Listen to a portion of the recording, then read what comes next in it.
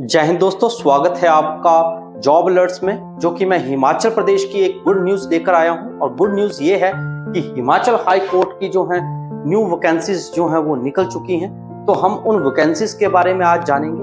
ये पूरी जो प्रक्रिया है, मैं आपको बता देता हूँ कि ये जो डॉक्यूमेंटेशन है, ये 28 से 25 के बीच में निकली थी, अगस्त को जो क्लियर हुई है।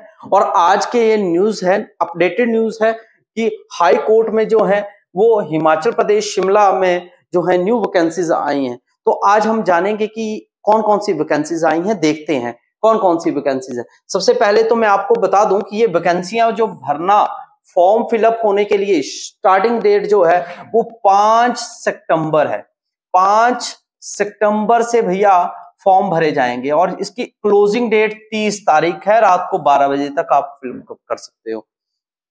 ठीक है? ये आप फॉर्म फिलअप करने की तारीख है, ध्यान से देख लीजिए, लिख लीजिए, कहीं पे अपना जो है, वो रिमाइंडर लगा लीजिए कि भैया, पाँच सितंबर को मैंने हाई कोर्ट का फॉर्म फॉर्म फिलअप करना है। और ये जो फॉर्म होगा, वो कैसा होगा? ऑनलाइन एप्लीकेशन होगी, जो कि हमारी website Himachal Pradesh high court dot nic dot in के ऊपर जो है, वो उपलब्ध करवाई जाएगी और वहाँ से हम जो है रिक्रूटमेंट पोर्टल पे जाकर ऑनलाइन फॉर्म फिलअप कर सकते हैं।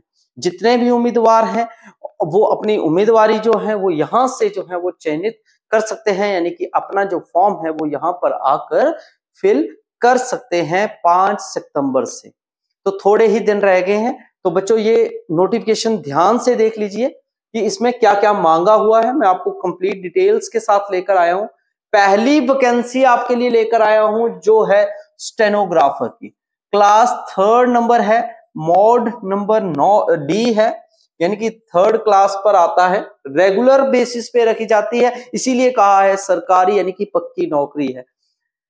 टोटल पोस्ट पाँच है, जिसमें अनरिजर्व्ड है सभी की सभी क्लियर कट यानी कि सभी को सभी जो आ जाएँगे टॉप पर वो रख लिए जाएँगे, जो रह गए सो रह गए।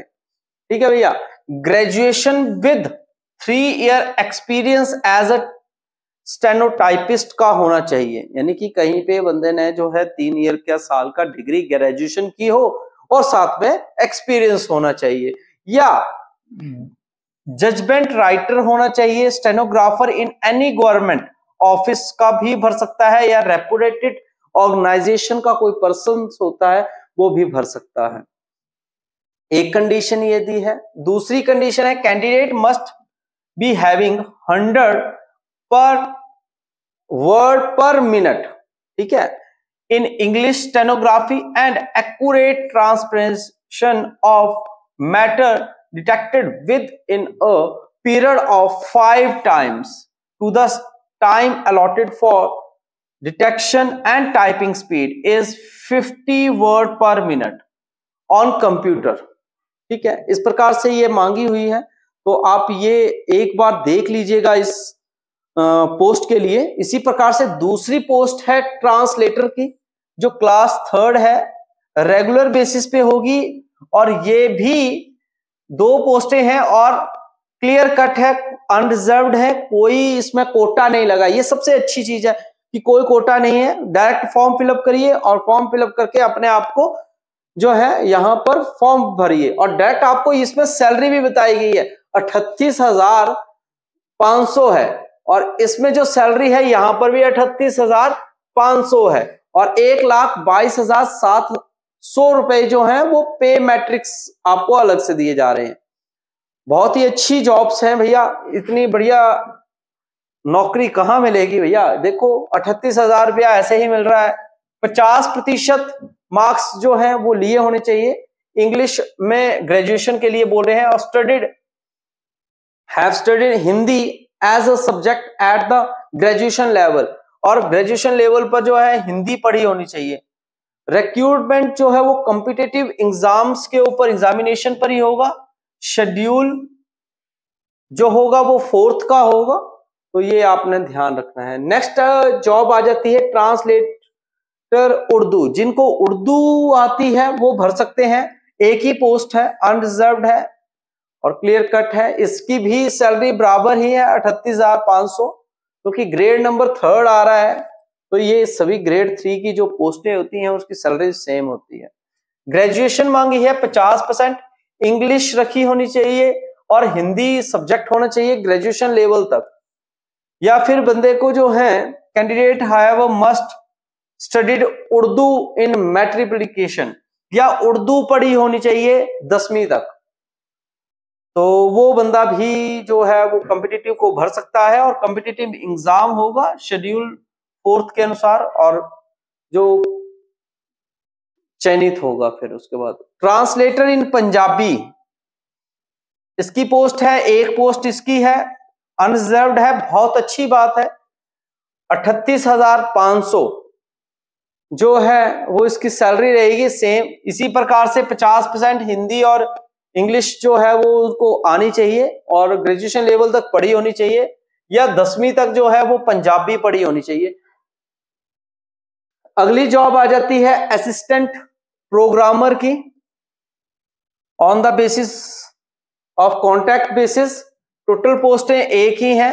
एससी कैटेगरी के लिए है ये। और अठतीस हज़ार पाँच सौ है।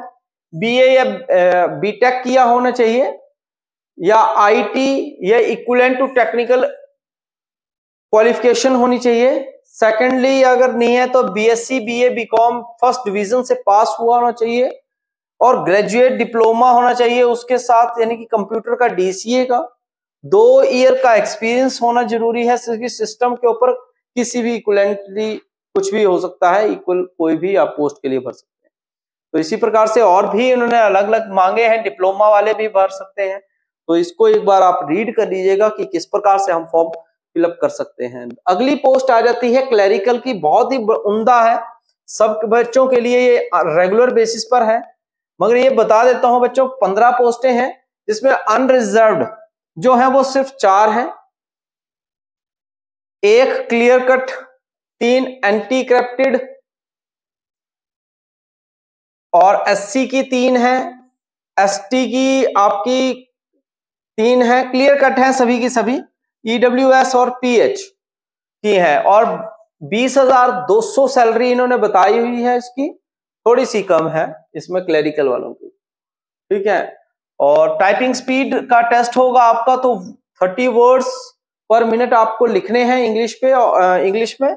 जो कि आपके कंप्यूटर बेस्ड रहेगा और इसके बाद after qualifying the screening test के बाद आपको रखा जाएगा कंपिटिटिव एग्जामिनेशन के बाद ही आपका ये पेपर जो है वो क्लियर करने के बाद आप आगे जाएँगे।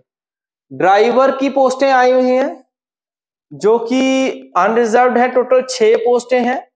एससी की वन वन वन और ईडब्ल्यू e की तीन है। इक्कीस हज़ार तीन सौ इसकी सैलरी है। और हैवी व्हीकल का जो है लाइसेंस मांगा है एटलीस्ट जो है, वो जो कैंडिडेट है, वो दसवीं किया होना चाहिए तो ये फिलअप कर सकता है। नेक्स्ट आ जाता है सफ़ाई कर्मचारी की पोस्ट मांगी हुई है। टोटल चार पोस्टें हैं। तो चार पोस्टें एक एक एक एक सभी पोस्टें हैं, चाहे unreserved S T EW S और पी एच की और अठारह हज़ार टोटल सैलरी रहेगी। इंटरव्यू होगा डायरेक्ट और कुछ नहीं है और दसवीं की होनी चाहिए। एक्सपीरियंस होना चाहिए उसका साफ़ सफ़ाई का वो तो आपको पता है। नेक्स्ट आ जाता है माली की है। ग्रेड फोर की है ये। तो चार पोस्टें हैं सॉरी पाँच पोस्टें हैं जिसमें से आ, पाँच हैं ये। तो तीन पोस्टें जो है अनरिजर्व है। और एससी और ईडब्ल्यू e की जो है वो एक एक है। अठारह हज़ार सैलरी होगी और दसवीं की होनी चाहिए। गार्डनिंग या हॉर्टिकल्चर का ऑर्गेनाइज यूनिवर्सिटी से इंस्टीट्यूशन से उसके पास डिप्लोमा होना ज़रूरी है। तो ये पोस्टें आपकी निकली हुई हैं तो इनके फॉर्म आप फिलअप कर सकते हैं। तो ये इकतीस आठ, देख सकते हैं, दो हज़ार तेईस तो अभी ही आज ही निकली हैं। तो इस प्रकार से ये इसकी डिटेल्स थी, जो मैं आपको दिखा रहा हूँ। ठीक है? तो इस नोटिफिकेशन को आप एक बार रीड कर लीजिएगा और अपने अपने जो फॉर्म है, आपको, मैंने जैसे आपको बताया है कि पाँच सितंबर से ये फॉर्म फिलअप होने जा रहे हैं तो आप इन फॉर्म्स को जो है, जल्दी से आप फिलअप करिएगा। मैं ऐसी ही नई और उमदा जानकारी आपके लिए लेकर आऊँगा हिमाचल जॉब्स में। तब तक के लिए जय हिंद, जय भारत।